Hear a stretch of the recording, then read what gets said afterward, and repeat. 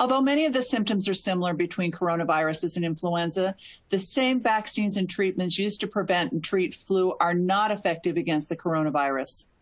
Many who don't typically contract the seasonal influenza may feel the same lack of threat from COVID 19, but they are not the same.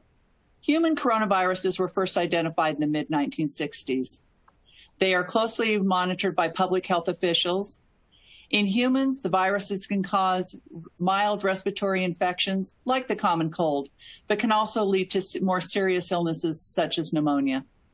Coronaviruses are a large group of viruses that cause diseases in both animals and humans.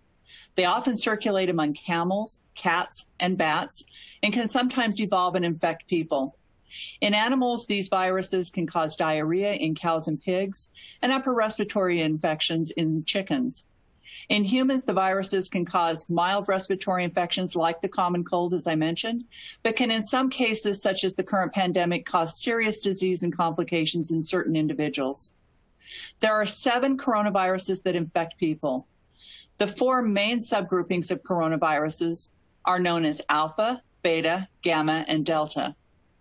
The common human coronaviruses, usually causing that mild to moderate upper respiratory infection, uh, and illnesses like the common cold, but most people get infected with one or more of these viruses at some point in their lives.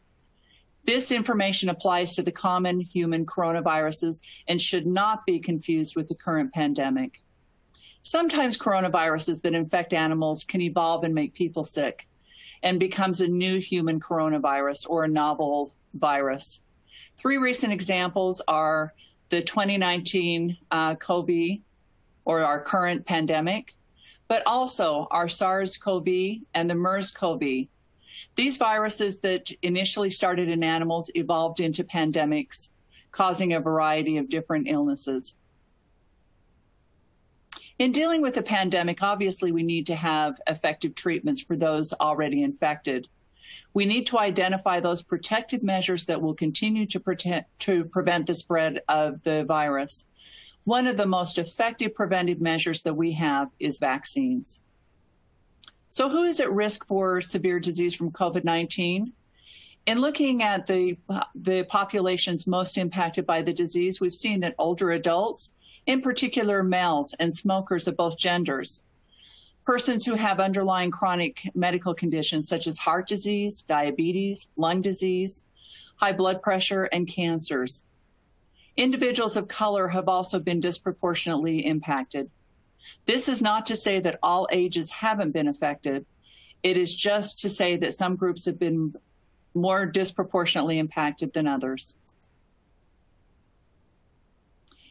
It is harder to determine actual numbers of individuals currently and previously infected due to the number of individuals who have been asymptomatic uh, with this disease. Therefore, our reported illnesses have ranged from mild symptoms to more severe illnesses. In addition to ongoing research on vaccine development, there have been ongoing research projects into the identification of effective treatments for this disease. The, this research continues and includes things such as antiviral drugs, dexamethasone, which should not be used in individuals with less severe symptoms, the use of anti inflammatory therapies, Researchers have studied many anti inflammatory drugs to treat and prevent the dysfunction of several organs and lung injuries that, re, that result from the infection uh, associated inflammations. Also, immune based therapies. Researchers are studying um, the use of these types of uh, medications and the authorization of convalescent uh, plasma therapy used under the emergency use authorization has also occurred. Ongoing treatments and research go are ongoing to develop drugs to prevent COVID 19. And we're also looking for, at those drugs that will help to prevent the disease before and after exposure to the virus. Until there is an effective vaccine, individuals will need to continue to be vigilant and use preventive measures. One of the greatest concerns is the possibility of what is called a twindemic. And this is a this is a term used to describe the risk of co-circulating flu and COVID. It will be very important to recommend the flu vaccine this year.